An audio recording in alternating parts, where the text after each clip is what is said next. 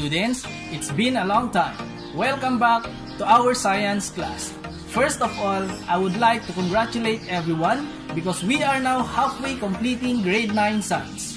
We are now in quarter 3, which is about earth science. Good job class for making it here. We are now in the new topic of third quarter. Week 5 lesson is all about the different factors affecting the climate. Check out our learning objective. Explain how different factors affect the climate of an area. So what are you waiting for? Prepare your ears, jot down notes, and most importantly, keep on watching. Perfect. When you plan to go a picnic or go to a beach, what are the things you are going to consider?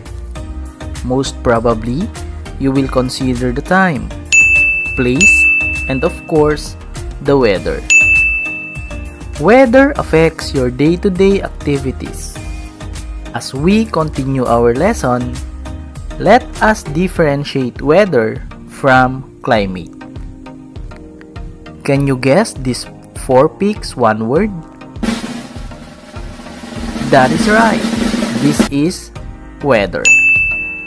When we say weather, it is the condition of an atmosphere at a specific place and time. What you see outside is the weather condition. For example, you wake up in the morning and you see the rays of the sunlight that lit your room. Therefore, your weather for that time is a beautiful sunny day. In addition, may change from time to time or day by day. Let us discuss first the different factors affecting the weather. The first one is temperature. It is the degrees of hotness or coldness of a place. Temperature is affected by a solar radiation reaching the Earth's surface. We can measure the temperature of a certain place by using a thermometer. Second is wind. It is the movement of air in the atmosphere. We measure it with wind vane that tells the direction of the wind and anemometer that measures the wind speed. Next, we have air pressure. It is the force caused by the weight of air in the Earth's surface. Even tiny air molecules have some weight, and the huge number of air molecules that make up the layers of our atmosphere collectively have a great deal of weight. To put it simply, it is the force exerted by the air. And we can measure it by using a barometer and millibars. Perfect. Next factor that may affect the weather is humidity. It is the amount of water vapor in the air. If there is a lot of water vapor in the air, the humidity will be high. The higher the humidity is, the wetter it feels outside. It can be measured by a hygrometer. Lastly, we have precipitation. It is the water falling from the atmosphere in the forms of rain, snow, or hail. Forms of precipitation depends on the temperature of the place where it falls. It can be measured using a rain gauge. And those are the factors that may affect the weather condition of a certain place we have the temperature, wind, air, or air pressure, humidity, and precipitation. Let's move on to our next topic. Can you guess these four pics one word? That is right. This is climate. Now let us proceed to climate. It is the general pattern of weather in a certain area over a long period of time. To tell the climate of a certain area, scientists study its precipitation and temperature for a period of 30 years. That is why climate is the average condition of the place for a long period of time. Like weather, climate has several factors that may affect.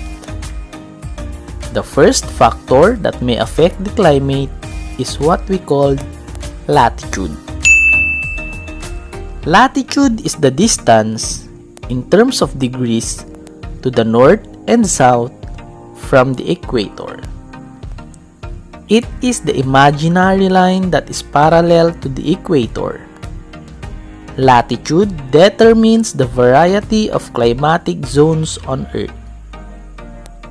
Our planet Earth is divided into three major climatic zones namely tropical, temperate, and polar zone. Tropical regions are low latitudes. Low latitudes are located near the equator. Temperate regions are the middle latitude and polar zones or polar regions are the high latitudes. You have noticed that they are not equal because Earth axis is tilted in 23.5 degrees. Sun's rays strike vertically in the places near the equator or in tropical regions. This makes the temperature higher in these areas and Philippines is near in the equator. That is why we are tropical country. Areas in temperate regions have four different seasons, while the polar regions have low temperatures resulting to a cold climate. Take note of this class. Places that are near the equator have high temperature. Places that are far from the equator have low temperature or we can say as the latitude increases, temperature decreases. Let's proceed the second one and that is altitude. Why is it that during summer Many people visit Baguio City. Obviously, the reason is the cold climate there. Do you think the altitude of the place might affect the climate? The answer is yes. Altitude is the height above sea level. The air temperature decreases as the altitude increases. Places with higher elevations have cold climate just like Baguio City. For every 1000 meter, there is drop of 6.5 degree Celsius. The decreasing air temperature is due to the decrease in air pressure. Another example is Mount Kilimanjaro in Africa. Africa is a place near the equator. Therefore, we expect a high temperature. However, how is it possible that the peak of this mountain is covered by ice? That is, that is because of altitude. The mountain stands 595 meters above sea level. Again class, the higher the place is, the colder the temperature or temperature decreases as the altitude increases. Third factor is bodies of water. The climate of the place is influenced by the surrounding bodies of water. Let's have an example. Look at the picture. The picture shows the British Isles and the part of Russia near Moscow. Being in the temperate region, both places have four seasons.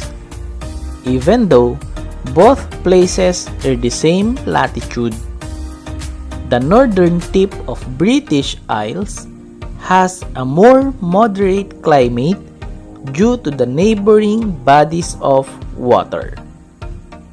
The British Isles experience maximum temperature of 17 degrees Celsius and an average minimum temperature of 0 degrees Celsius. Moscow, on the other hand, has an average maximum temperature of 21 degrees Celsius and very cold winter with an average of negative 8 degrees Celsius. Land heats and cools faster than the sea. Coastal areas have lower temperatures than inland areas. So take note class, places that are far from the bodies of water have extreme climates.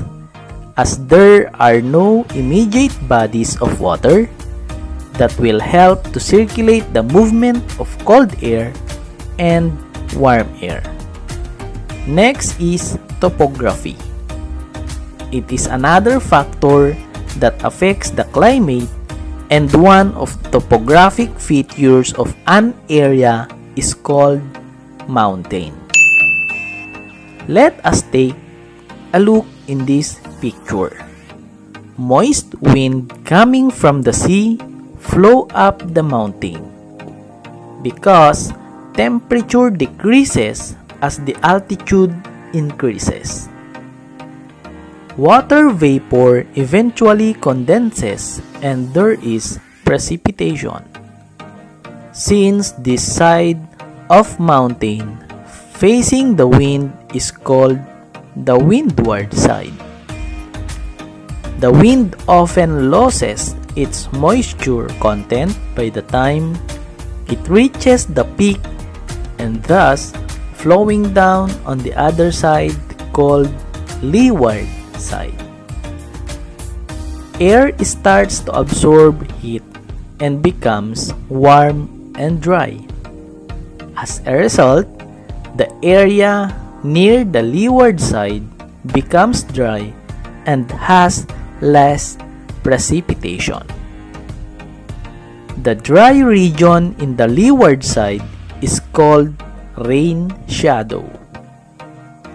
Vegetation in this region includes de desert plants and grassland.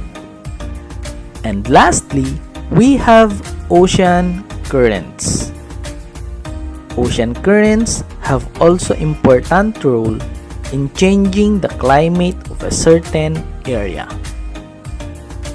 Warm currents from the equator towards poles carrying warm water.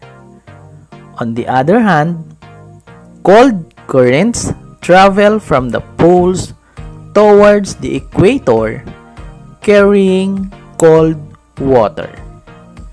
When ocean current carries cold water, the air above it becomes colder. When this ocean current moves coastal region, the temperature of that area becomes lower. On the other hand, ocean current that carries warm water makes the air warmer. When this current goes toward a landmass, the temperature of that place becomes higher. To sum it up, ocean currents that bring along cold water to inland make the climate cold.